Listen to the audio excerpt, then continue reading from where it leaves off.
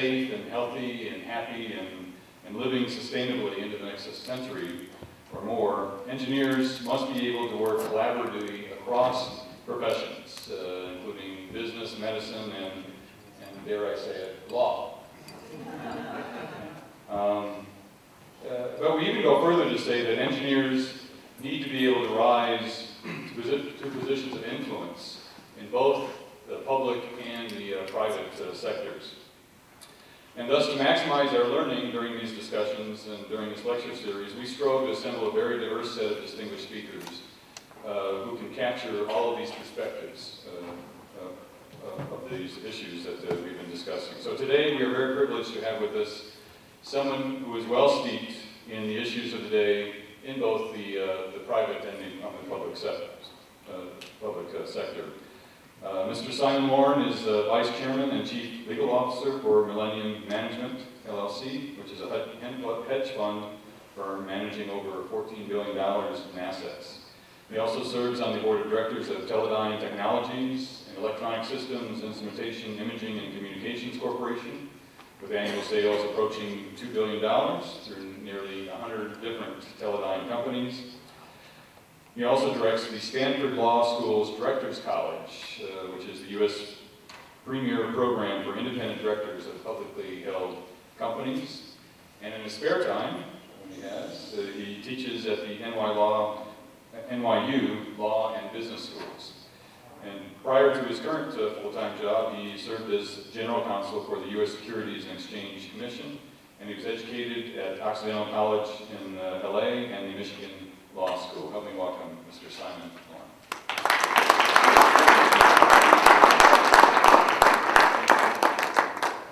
Thank you very much, Dean, and, uh, good afternoon to, to, all of you. Uh, I'm, I'm uh, really quite pleased to be here speaking at a College of Engineering. I've got a, a, a lifelong association one way or another with engineers.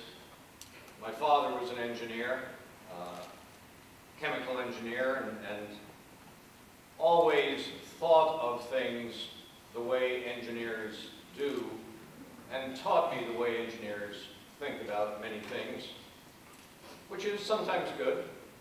Uh, most of the time, probably good. Uh, not always, not always perfect, but I'll, I'll talk about all of that as we, as we go on. I do want to thank my friends Bob and Diane Malone and the Halliburton Foundation for putting together or sponsoring this series of talks. And, and I must compliment the dean and, and the university as well. It strikes me as unusual for a College of Engineering to bring together a diverse group of people to talk about what colleges of engineering should be thinking about going forward. I'm not sure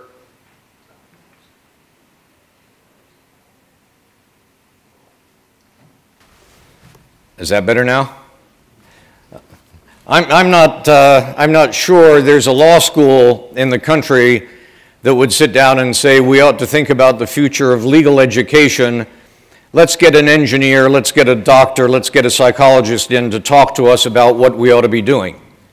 And, and you know, as I thought about this talk and I, I thought about uh, uh, that invitation from the dean and from the, the College of Engineering, it seemed to me that that, that expressed a view of diversity uh, that is very useful and is one of the aspects in which a diversity of thought and perception is important. I may talk about that a little bit later, I may not.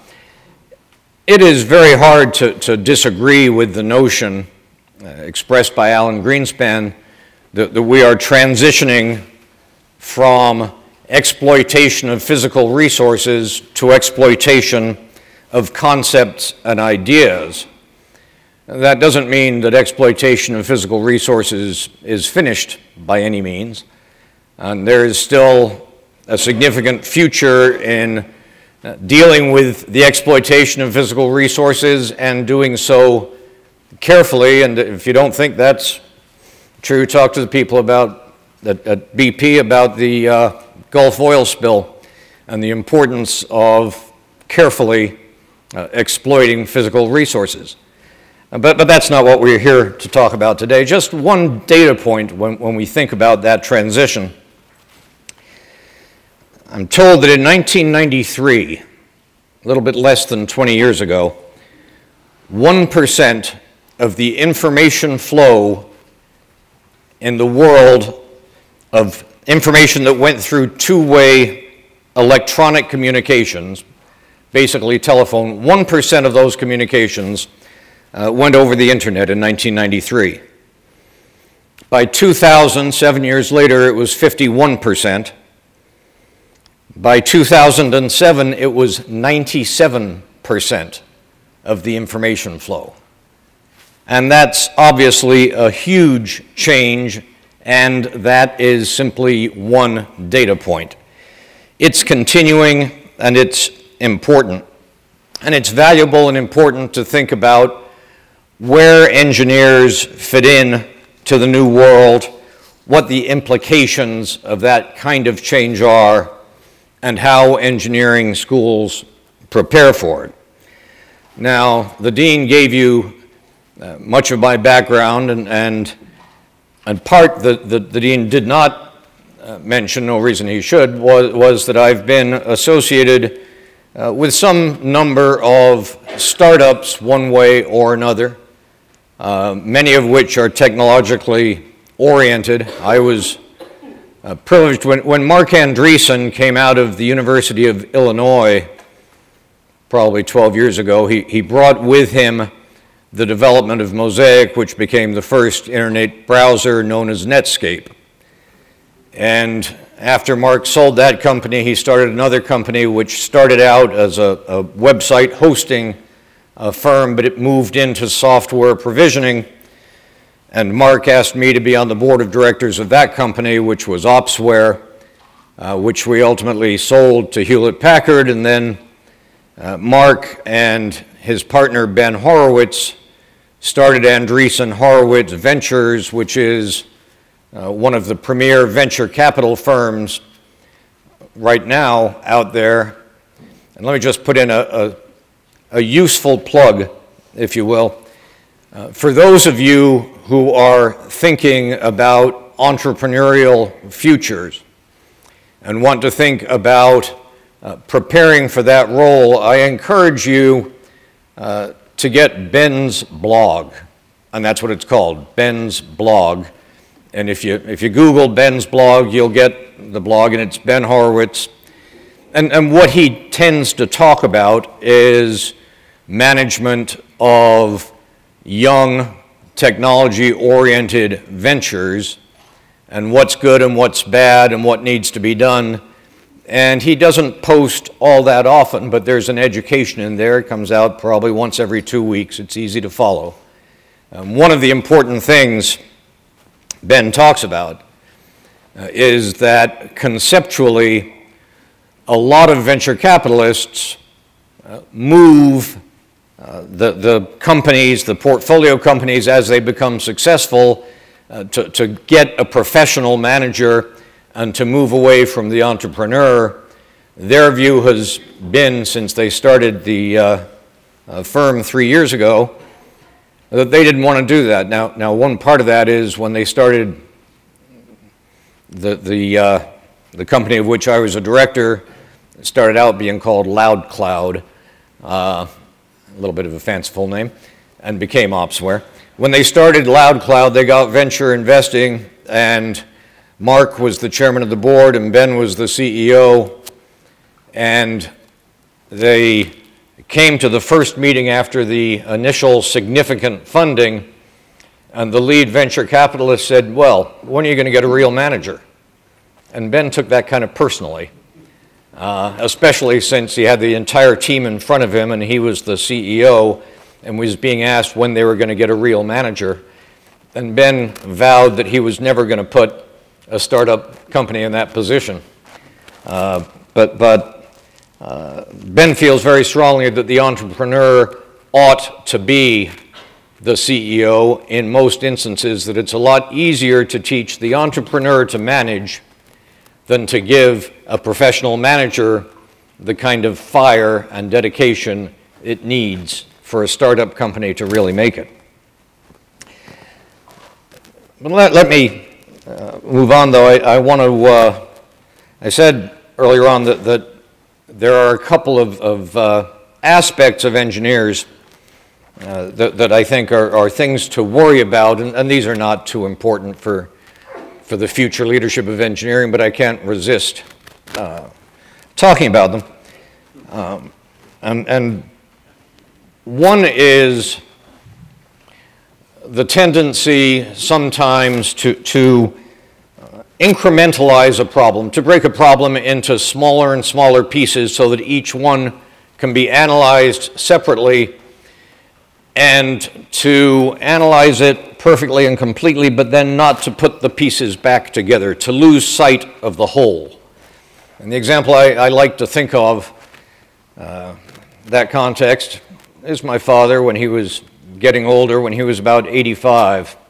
And he decided, my mother had passed away, and, and he decided it was time for him to move into a retirement plan, a retirement home. And like a good engineer, he said, Well, it's time for me to do that. I should do that. I should go about it methodically. And he interviewed several retirement homes. He was a fairly active 85 year old. He was still riding his horse one day a week. When he wasn't riding his horse, he liked to be outside gardening. He also liked music and reading. But he broke down all the parts of his life and attached a weight to each and looked at six or seven different retirement homes into which he might move and added up the numbers and told me he was moving into a place where he would be in an apartment on the seventh floor of a concrete building. And I said, Dad, look at your life, you're not going there. And he said, Okay. and, and he moved into a place from which he could walk two blocks and ride his horse and where he could garden, and he spent the next five years of his life in terrific happiness. The other example I like to think of is a day in 1974. And th- this is a different aspect, really, of the same thing. And it's, it's the tendency sometimes of engineers to, to, to lose track of the bigger picture and do things because they can be done rather than because they ought to be done. And in 1970, uh, Boeing flew the first commercial flight of the 747. And it was a wonderful engineering achievement. The 747 would be, still is, the workhorse of international travel for 42 years. Uh, it carried between 350 and 450 passengers in a passenger configuration. Uh, its payload was approximately 250% of the largest aircraft flying before the 747. There was only one slight problem. It was a little bit ahead of its time. And it could take 400 people from Houston to Hong Kong. But it turned out there weren't really 400 people who wanted to go from Houston to Hong Kong on Thursday. And, and so it, it wasn't really full right away. And, and as I said, the first flight was in 1970. And in 1974 75, we had a recession, which made the problem even worse. And during that period, I remember distinctly sitting in a breakfast meeting. I used to eat breakfast with a group of people. We all read the Wall Street Journal every day and talked about the problems and then went to work. Sitting at that breakfast table, reading two articles on one page of the Wall Street Journal. One article talked about how, I don't remember which airlines anymore, but United and American and Delta or something of that nature uh, had all parked most of their 747s in the desert because in the middle of the recession there just wasn't enough traffic to warrant using them. Uh, and they could put them in the desert in Arizona where they were fairly impervious to, to weather problems, uh, and, and it wouldn't be so bad. Same page of the Wall Street Journal, an article about how the engineers at Boeing had devised a modification of the 747 so it could carry twice as many passengers. that modification never went into production. Not yet, 42 years later, it hasn't gone into production. I don't know how much time and money the engineers at Boeing spent being able to devise a 747 that would carry twice as many people. But obviously, it was a waste of time, and you all know your own examples of, of that sort of thing. Those are two small things to worry about. I'm not terribly worried about the future of engineering in conjunction with those. The, the more important thing to worry about and, and this is also a question of looking at the big picture. For the last hundred years, in most areas of human endeavor, we have increasingly specialized. 100 years ago, you wanted to go to a doctor, you went to the doctor. Now you need to decide what kind of a problem you have and whether you go to the cardiologist or the orthopedic guy or the, any one of a hundred different specialties. And, and we've done that for obvious reasons. And it's happened in medicine, it's happened in law, it's happened in engineering, it's happened everywhere. When, when this school was started 100 years ago, there weren't nearly the variety of engineering specialties we have today. And, and obviously, we did that because as we got more and more knowledge, we learned that you, you needed to divide things up more and compartmentalize and examine. But then about 20 years ago, we started, and it's been increasing since then, realizing that you have to look at the whole picture. That it's useful to take uh, light going through a prism and divide it up into the, the different spectral colors, but sometimes you've got to look at the light as light. In medicine, it's the holistic approach to medicine. You need to take into consideration all aspects uh, of the person, of the patient. And, and so uh, we, we've come to realize that somehow we need to bring things back together. And that is obviously affecting engineering, and that's what the dean talked about in his, his quick summary. That is an extraordinarily important and difficult thing to accomplish in the current world, and I'll, I'll talk a little bit about that. Side by side with that, in business and in society, we see increasing role of technology and applied science, of engineering. It, is, it has always been an important part of business and of society, but it is increasingly important, and we need to be prepared for that. I obviously, given my background, think about the business relationship, but, but it's a somewhat bigger question than that. Now, on, on the uh, question of, of uh, uh, bringing everything back together and looking at the whole, MIT had an important paper that was presented a year ago. They called the Third Revolution the convergence of the life sciences, physical sciences, and engineering. And that paper was written from a health science perspective, and it referred to the, the three great revolutions they talked about.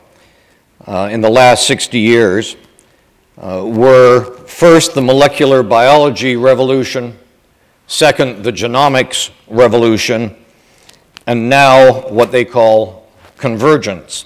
And, and let me read one quick paragraph from that paragraph from that report. We see convergence as a blueprint for innovation. Advances in information technology, technology, materials, imaging, nanotechnology, optics, and quantum physics, coupled with advances in computing, modeling, and simulation, have already transformed physical science.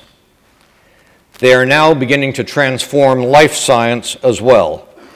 Convergence takes the technical tools as well as the, quote, disciplined design approach, quote, traditional to engineering and physics, and applies them to life science research. But convergence is not a one way street. Biological models are simultaneously transforming engineering and physical science. Advances in biofuels, biomaterials, and viral self assembly are just a few examples of this reciprocal relationship. Now, quite separately but interestingly, I came across uh, a discussion at a TED conference. Uh, conferences, what's TED? Technology, Engineering, and Design. Uh, and, and the TED groups put together fascinating uh, presentations, think tank presentations that the public is invited to. And I came across one in Athens uh, a year ago. Same concept with, with somewhat different and, and simpler perspective, if you will, presented by Rory Sutherland, vice chairman of uh, Ogilvy Group, the advertising people.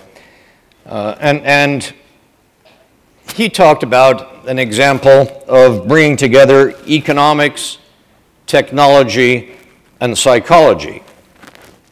And, and talked a little bit, in fact, about the sorts of things Dr. Jerry Porras talked about with you a couple of months ago. Uh, he gave a, a wonderful example, simple example, of the need to bring these things together. he talked about an experiment in Korea in which they determined that, that putting a countdown clock next to a red light, I mean a, a traffic light, so that the, the cars could look at the clock and see when the green light was coming, dramatically reduced accidents. And, and their analysis, at least, was that it reduced the anxiety associated with uncertainty and instead of people sort of getting ready to go and hitting the accelerator as soon as the light turned, people were more relaxed. When the light turned, they moved slowly away and, and they could see a car coming the other way, etc. But, but they found with the countdown clock uh, a dramatic reduction in uh, accidents, and, and that, he suggested, what was the value of having uh, psychology together with engineering in simply a very simple example. Now, it turned out that the Chinese didn't fully appreciate the example, and, and they sort of copied it, but they put the countdown clock next to the green light instead of the red. And it won't shock you to learn that when the countdown clock comes with the green light, people say, Oh, I've only got a second left and it dramatically increases the number of accidents. And I've noticed in New York City, they've got countdown clocks next to the pedestrian light that tells you how long you've got before you can't cross the street anymore. And I'm a little bit worried about what that's going to do, but I, I, think maybe it won't have the same effect as, as on green lights. In any event, it's fairly obvious that being prepared to deal with convergence with the coming together with holistic approaches uh, requires some considerable thought about curriculum within engineering schools. hold that thought and I'm going to come back to it. I talked about the increasing importance of science and technology in business. And, and as a thought experiment, I looked at UTEP's engineering uh, offerings and I thought about them in conjunction with what's happening in business. And I won't read you the list, you know it better than I do anyway. But if you think about just the principal areas of study available within the engineering school and you think about the dynamic growth in business today, there is a very strong correlation uh, between those two. Obviously, people coming out of engineering schools like UTEP are going to be playing an increasingly important role in various businesses. The question then comes how are they going to be prepared? Some of them, certainly, will take an engineering undergraduate degree and get an MBA and be perfectly comfortable dealing in both of those worlds. They won't, by and large, be the more advanced engineers. There just isn't time. So you need to think, it seems to me, in terms of curriculum, about how we prepare the engineering students to be business leaders. One approach is, is the, the Andreessen Horowitz approach I talked about. You don't worry about it too much, you can teach business management. If I really believed that, I wouldn't spend time teaching in a business school. Uh, I think it takes a little bit more than that.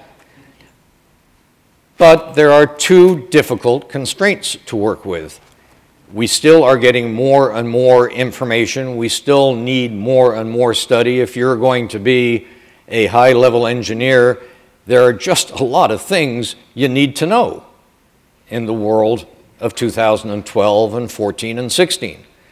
So we can't just eliminate very much of that. And the last I checked, we still had 24 hours in a day, and we weren't going to change that.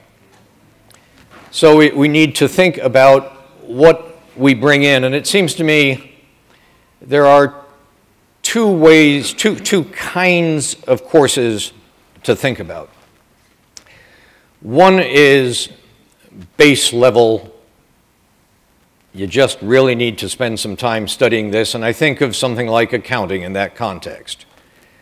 It seems to me everybody coming out of engineering school who looks to the possibility of a future that combines engineering and business needs to have an accounting class. You just need to lead to learn to speak the language of business, and that's financial accounting. So there, there are some base level classes like accounting that you probably need to take. The other area where you need, I think, to provide education is what I think of as background education, what I think of as creating a facility to know how to get more education when you need it, not, not specific things. When, when I was an undergraduate, uh, in my, uh,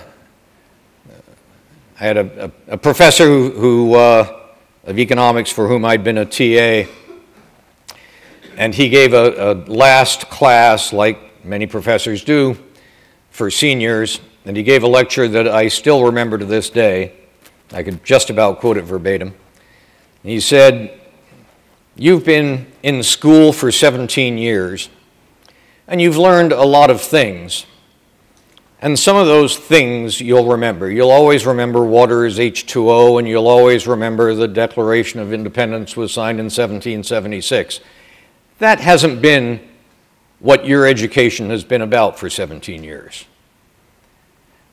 We've been about teaching your instinct, teaching you to approach life. And he said, if there's one piece of advice I give you as you leave, listen to your instinct. Don't ever ignore it because if you've been paying attention for the last 17 years, that's what's been trained. That doesn't mean do what you instinctively think is right. It does mean listen to it and pay attention. And, and I think within the engineering school to prepare the engineers of the future, we need to spend some time thinking about ways to train the instinct that are useful. And, and one example I think of, because it's one of the things I teach at business school, is ethics. And in business schools throughout the country, including here at UTEP, particularly following the scandals of Enron and WorldCom and, and that period in 2001, every school in the country looked at its curriculum and said, we really need to give a grounding in ethics. And if I look around engineering schools, near as I can tell from what's available on the web, people do pay attention to engineering ethics, and, and that's very important. Obviously, a lot of engineering uh, classes are dealing with things that will affect human life and safety, and that's critically important, and those are ethical issues. But there aren't any business ethics classes, and, and the way we teach it at NYU, at least, our view of, of what we ought to be doing is using the isolated environment of a university classroom as an opportunity for people to go through thought experiments.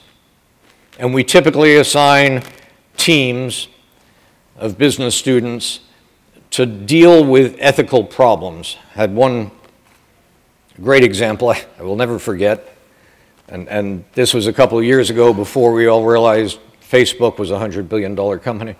We were talking about resume fraud and, and preparing the resume and, and maybe making it a little bit or maybe making it a lot better than, than uh, uh, it really was. And there was an example with the CEO of Radio Shack uh, who had forged a transcript, and in fact, he didn't have the MBA he said he had, and the board found out about it. We talked, so, so we had a discussion of resume fraud in the class, and, and one young lady, and, and in the course, we talked about lying in resumes. Okay, and, and then somebody said, Well, what about lying on Facebook? And one young lady raised her hand and said, Well, everybody lies on Facebook. Uh, but, but what we try to do in that class is give people real life examples and, and say, okay, think this through. How should you respond ethically to this situation? You're on the board and you find out the CEO uh, has lied on his resume. How should you respond to that situation, etc.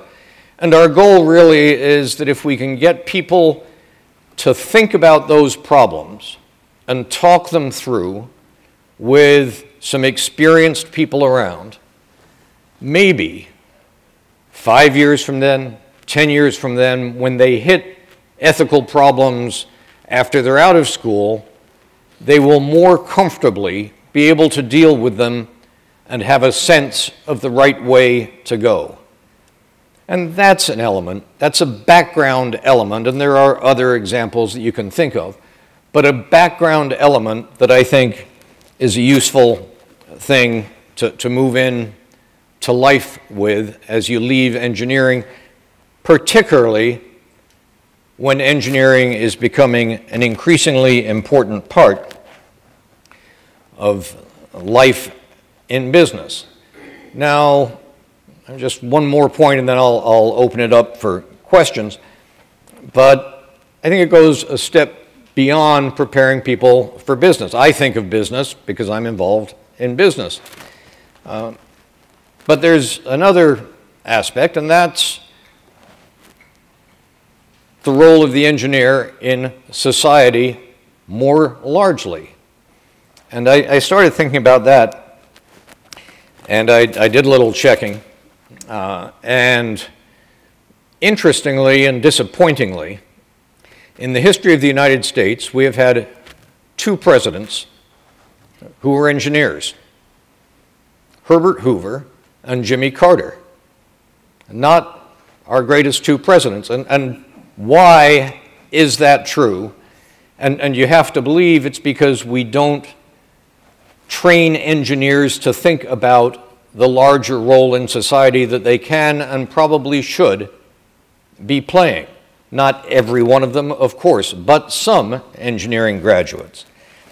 And then I, I found a study that The Economist performed, and they'd gone back some 10 years and looked at globally 5,000 political leaders uh, and analyzed their backgrounds, and they found nine background fields law, business, diplomacy, military, journalism, economics, medicine, academia, and engineering. Among the 5,000 world leaders, they found those nine backgrounds. And the frequency with which they showed up as world leaders is the order in which I read them. And engineering was dead last. And that's something that we ought to be thinking, I think engineering schools should be thinking about for the larger society. Now, sort of the, the fact that engineering was the last was the bad news. The good news was there was only, depending on your perspective, good news, was that there was one country when where engineers were number one China. Now, if China is going to be the leader of the next century, which certainly many people talk about, that may suggest a good role for Chinese, and maybe the engineer, engineering school ought to be teaching leadership on Chinese.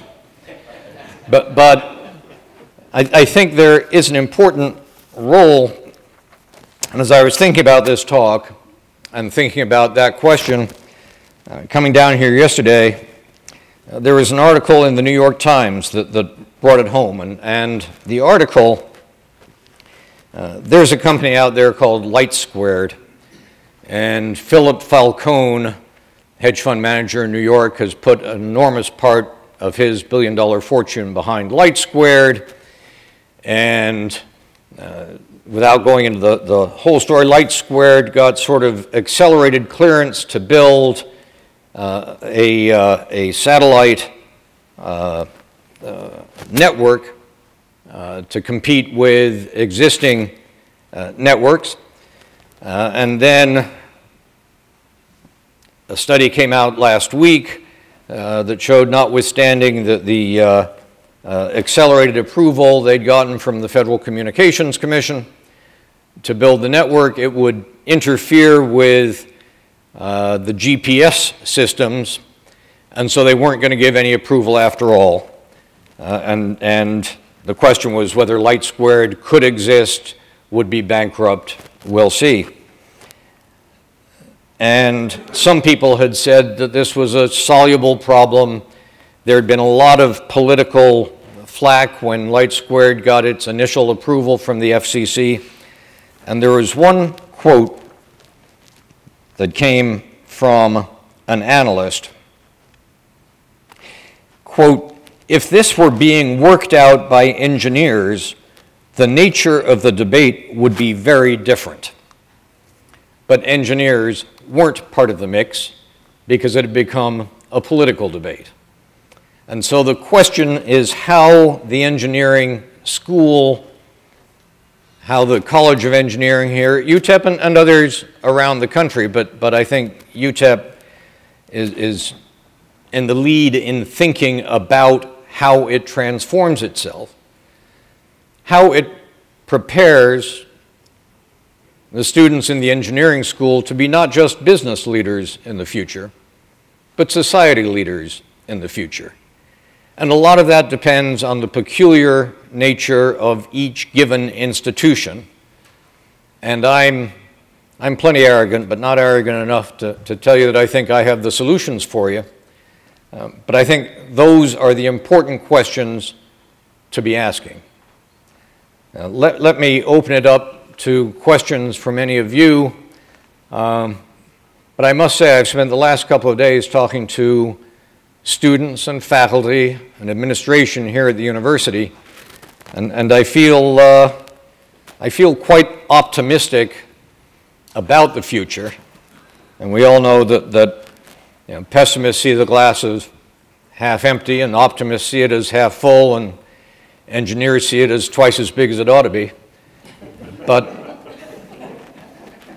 I'm optimistic when I talk to people and think about the future and see people wrestling with these questions with this as one of many elements of diversity, in fact, that is important. Thank you.